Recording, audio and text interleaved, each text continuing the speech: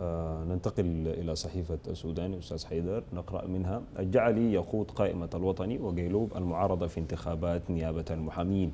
كشفت اللجنة الإعلامية للتحالف الديمقراطي للمحامين عن اتفاق مكونات التحالف على ترشيح علي قلوب المحامي لمنصب النقيب عقب اجتماع انتهى ليلة أمس. وأكدت اللجنة في تعميم صحفي عن اكتمال قائمة المجلس العشرين لنقابة المحامين وأنه سيتم إعلانها اليوم الثاني ظهرا بدار حزب الأمة القومي.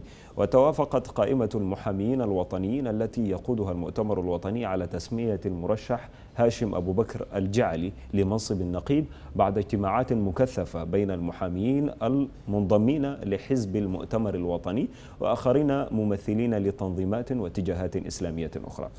أستاذ حيدر يعني المعارضة أعلنت رسميا مشاركتها في انتخابات المحامين. هذه انتخابات هامة قطعا. لا يشير ذلك لتخليها عن المقاطعة وربما لمشاركات في انتخابات نقابية أخرى. التركيز على على هذا نعم الموضوع. نعم. أنا لا أعتقد أن المعارضة هي التي أعلنت خوض انتخابات المحامين. أنا لا أرى أي رابط بين المعارضة كأحزاب سياسية وتنظيمات وبين التكوين الخاص بالمحامين الديمقراطيين. لأنه يعني التحالف الديمقراطي ظل ليست هذه هي المرة الأولى ولا الثانية التي يخوض فيها تحالف المحامين انتخابات نقابة المحامين. على مدى 27 عاما ظل التحالف الديمقراطي يخوض انتخابات نقابة المحامين.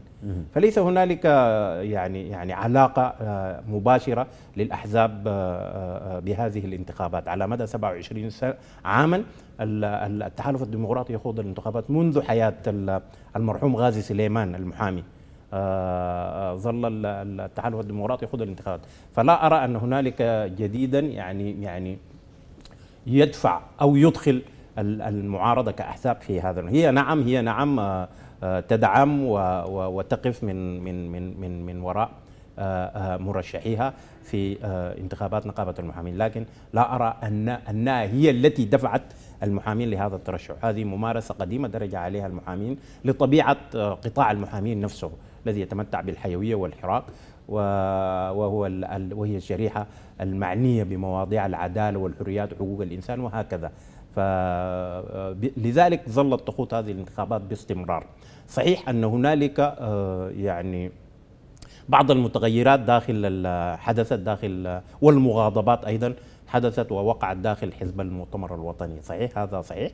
وربما يكون ذلك عاملا مشجعا للأحزاب لأن يعني يعني تفكر بجدية في في خوض الانتخابات. ليس على مستوى نقابة المحامين بل على مستوى الانتخابات العامة. ولكن بالتركيز بالتركيز على هذه الانتخابات المزمع قيامها في التاسع والعشرين من ديسمبر الجاري.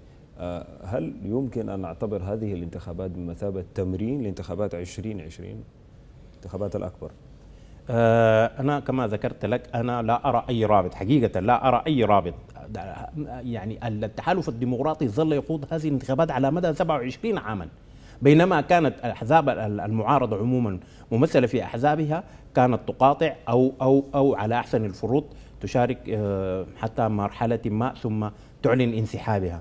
اما أما التحالف الديمقراطي يعني هو مكون من من من من, من من يعني يعني محامين ينتمون لأحزاب معارضة ينتمون لمنظمات مجتمع مدني حتى هنالك شخصيات قومية من المحامين. تؤلف هذه القائمة التي تسمى التحالف الديمقراطي. فلا لا أرى هناك رابطا يعني بين الاثنين. لكن كما قلت ربما تكون خطوة مشجعة للمتغيرات والمغاضبات التي حدثت مؤخرا داخل صفوف حزب المؤتمر الوطني حزب المؤتمر الوطني. الجديد في الموضوع هو يعني صار موضوع مشاركة المعارضة في الانتخابات. هو الآن يعني يتم تداوله بكثافة ويتم النقاش حوله بجدية. يعني منذ خطاب عقار المعروف الذي دعا فيه أحزاب المعارضة لخوض الانتخابات. ومن قبل دعوة عقار هذه وخطابه أذكر أن أن أن حق يعني يعني يعني حق أيضا تقدمت برؤية ووزعتها على أحزاب المعارضة قبل خطاب بزمن. ولكن لم تجد أي استجابة ولم يكن هنالك أي تفاعل مع هذه الدعوة، لكن على كل حال حتى هذا الاتجاه الذي بدأ يتبلور رغم أن أحزاب المعارضة لم تبدي برأي واضح حتى الآن حتى الآن. يعني الحزب الشيوعي أعلن مقاطعة مبدئية. آه، حزب المؤتمر السوداني أعلن أنه سيدرس سيدرس أمر المشاركة. آه، حزب الأمة لم يقطع برأي واضح حتى الآن. فكيف ما هي أحزاب المعارضة التي أعلنت مشاركتها في الانتخابات؟ جيد. لكن على كل حال على كل حال الدعوة حتى حتى الدعوة التي يعني أثيرت في موضوع مشاركة المعارضة في الانتخابات العامة المقبلة كانت بهدف آه يعني محاولة خلخلة النظام وإضعافه وليس الفوز وليس الفوز بها. يعني يعني اكتشفوا أنه بعد 28 سنة من المعارضة عبر الشعارات شعارات وحدها لا. لا تفعل شيء. ولم يكن هنالك أي جديد في في في في موضوع المعارضة يعني. هي لم تسقط النظام طوال 28 وكل الشعارات والآليات السابقة أثبتت فشلها تماما. فقيل فلنجرب فلنجرب يعني يعني محاولة أخرى وآلية أخرى آه، فليكن يعني عدم عدم البعد عن عن عن المشاركة في الانتخابات بل التواجد في قلب المعركة في قلب المعركة منذ آه، مرحلة آه، آه، كشوفات الناخبين ومراجعتها نعم. وقانون الانتخابات نفسه وموضوع مراقبة الانتخابات إلى آخر إلى آخر هذه العمليات المعروف المعروف أنها تتم في الانتخابات حتى مرحلة الترشيح والفرض هي المرحلة الأخيرة. جيد جيد لكن أستاذ أستاذ حيدر ما بين حزب أعلن المقاطعة المبدئية وما بين آخر آه، أعلن أنه سيدرس الأمر وما بين آن بين بين ثالث لم يرد حتى الآن الآن تختلف آه، أشكال المعارضة الأحزاب المعارضة السودانية في تعاطيها مع مسألة المشاركة في منتخبات 2020 حتى الآن هي نعم. تتأرجح بين الثلاثة بين نعم. الثلاثة حبال نعم. آه، ولكن هنالك رأي يذهب إلى أن يعني آه، ما أسميته بالمغاضبة الموجودة داخل المؤتمر الوطني الآن وما شهدناه قبل قبل فترة من خلافات داخل أروقة المؤتمر الوطني في بعض من الولايات ولايه الجزيره مثالا. آه، قد يكون حافز وفاتح لشهية أحزاب المعارضة أن تدخل في في انتخابات 2020 لأنه لأن المنافسة قد تكون شرسة ربما. ما رأيك؟ أخي راشد هل هنالك مغاضبة أكبر وأقوى من المفاصلة التي وقعت؟ وقسمت الحزب إلى إلى شعبي ووطني. لا أعتقد لا أعتقد أن هنالك مغاضبة ومفاصلة أكبر من هذه. رغم رغم رغم ذلك لم لم لم يكن لها أي أثر يذكر. فظل حزب المؤتمر الوطني يفوز بالانتخابات.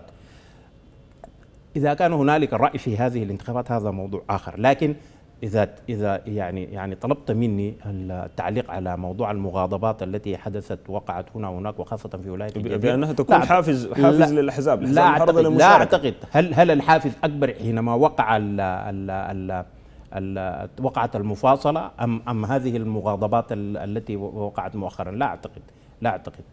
فيعني يعني يعني لا أظن أن أن أن سيكون تفكير المعارضة في هذا الاتجاه في هذا الاتجاه.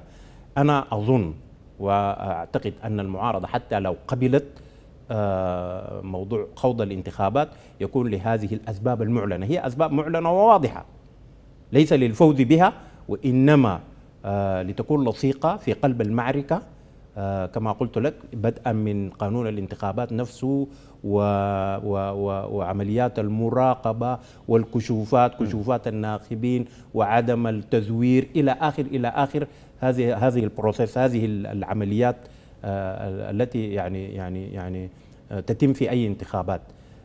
بهذا المعنى ربما لكن حتى الآن حتى الآن كما قلت لك لم يعني لم تخرج رؤية واحدة موحدة من مجموع أحزاب المعارضة. هل تعتقد أن هذه هي مشكلة معارضتنا في السودان؟ عدم الاتفاق على رؤية واضحة؟